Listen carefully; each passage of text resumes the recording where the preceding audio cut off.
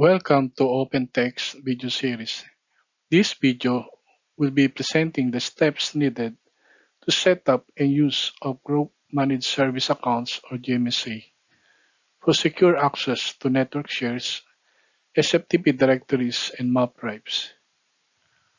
Group Managed Service Accounts, GMSAs, are domain accounts to help secure services.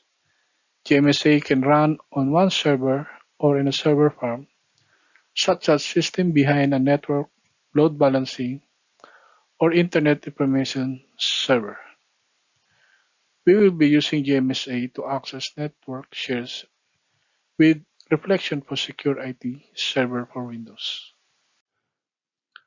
This video will cover the steps required to configure access to network shares using a group managed service account. Procedure to perform to configure Reflection for Secure IT Windows Server. To use GMSA account to access network shares is available in Reflection for Secure IT Server for Windows 8.4 SP1 and higher. These are the requirements in setting up Group Managed Service Account.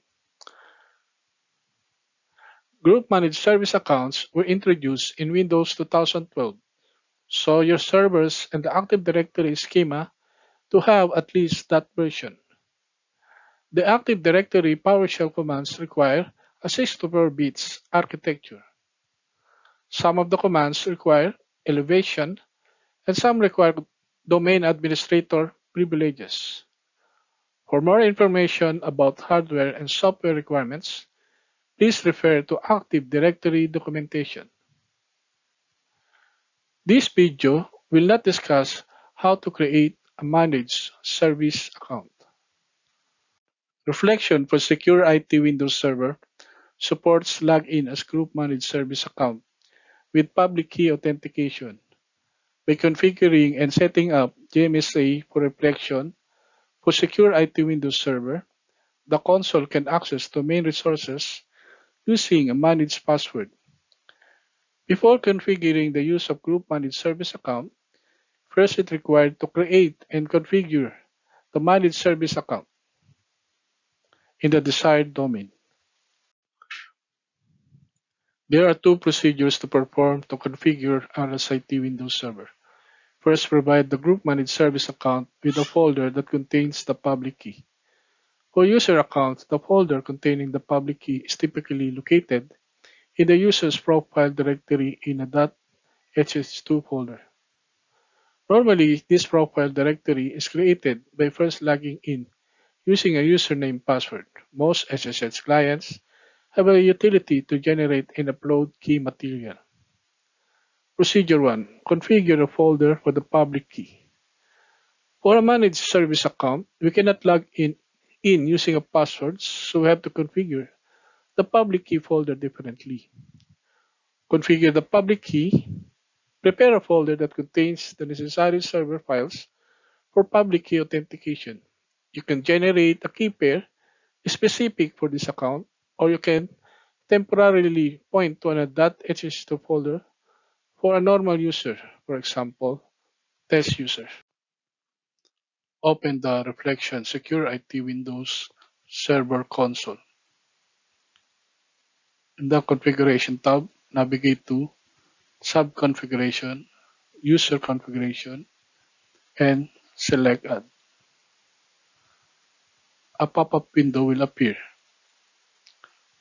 Select the domain and enter the domain name of the group managed service account, for example, domain.com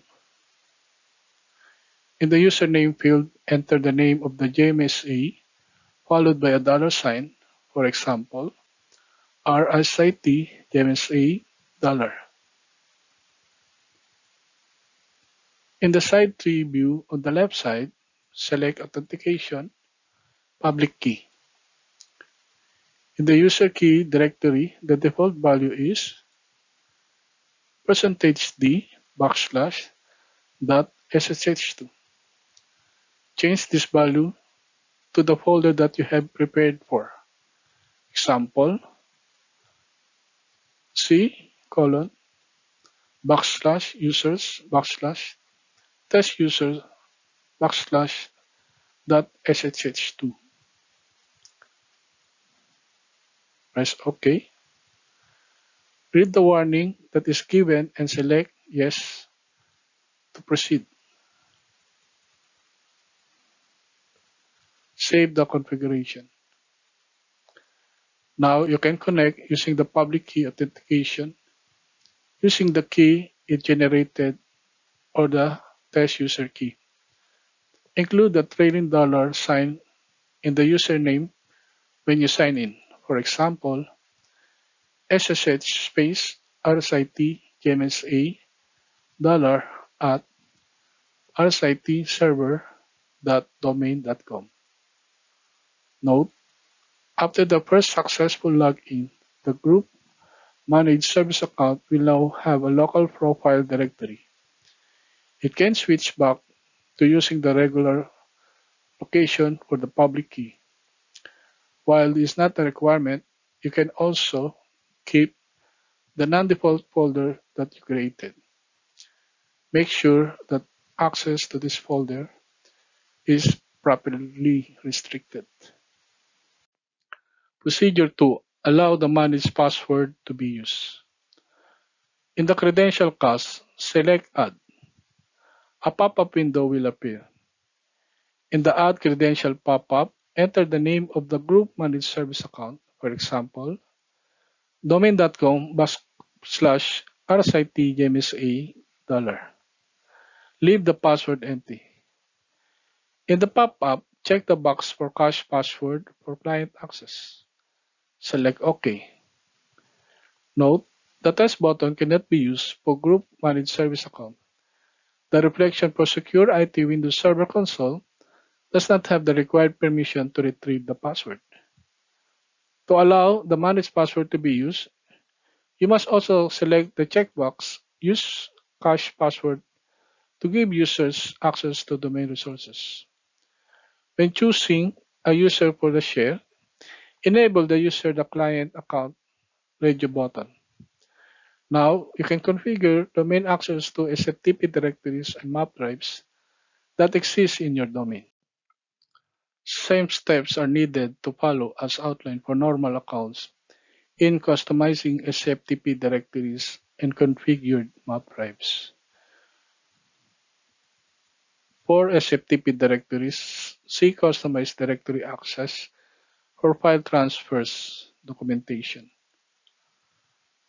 For map drives, see Configure map drives for terminal session documentation. When selecting account, choose the GMSA created previously, which is domain.com backslash rsitgmsa dollar. Thank you very much for watching.